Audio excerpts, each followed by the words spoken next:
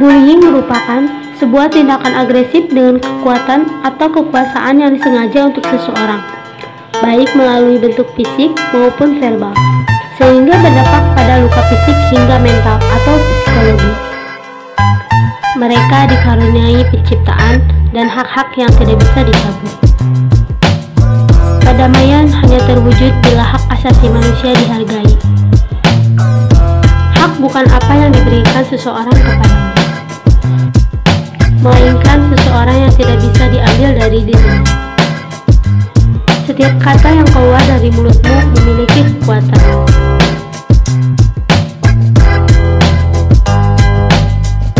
Mari kita perbaiki sikap yang tercela itu dengan baik.